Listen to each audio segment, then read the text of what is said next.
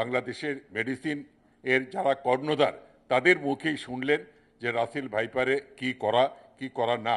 এবং আমি মনে করি আপনারা যদি এই মেসেজগুনা একদম আমাদের জনগণের কাছে পৌঁছে দেন, আপনারাই কিন্তু পারেন এটা একদম মানে একদম জনগণের কাছে যে রাসেল ভাইপারে আতঙ্কিত না হয়ে। আমি যে মেসেজটা দিচ্ছি, আর এই মেসেজটা দেওয়ার জন্য আমার ছেলে মেয়ে আমাকে বলে বাবা, তুমি তো উজা হয়ে গেছো এখন, তুমি আর ডাক্তার নাই। আমি উজা হয়তো রাজি আছি, কিন্তু এই মেসেজটা যেন মানুষের কাছে যায়, যত দ্রুত সম্ভব। শোনেন, এই গতকাল রাত্রে একটা মেসেজ আসলো আমার কাছে যে, কোথায় যেন একটা মানে রাসেল বাইপারে কামড় দিছে, হাসপাতালে যাওয়ার পরে রুগীটা মারা গেছে।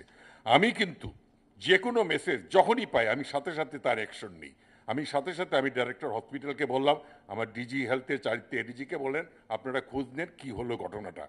ঘটনাটা ছিল যে সাপে কামড় দিয়েছে অনেক দুগ্ধম এলাকায়, তারা প্রথমে একটা হাসপাতালে গেছে, সেখান থেকে আবার গেছে। এই যে সময়টা নষ্ট, এই জন্য আমি মাননীয় সংসদ সদস্যদেরকে বলছিলাম যে আপনারা, আপনাদের তো অনেক হ্যান্ডস আছে, আপনাদের মেম্বার আছে চেয়ারম্যান আছে, রুগী আনার দায়িত্বটা যদি আপনারা নেন, চিকিৎসকদের কাছে নিয়ে আসেন, চিকিৎসকরা তো চিকিৎসক চি- রুগী তো আনতে হবে, সেটা তো আর চিকিৎসকরা পারবে না।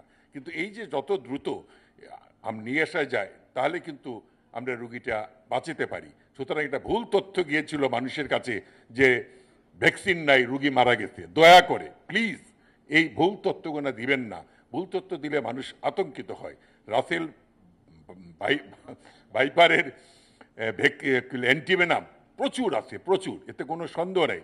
যদি নাও থাকে, আমরা আনার ব্যবস্থা করব, কিন্তু কোনো সময় আমি সংকট হতে দিব না।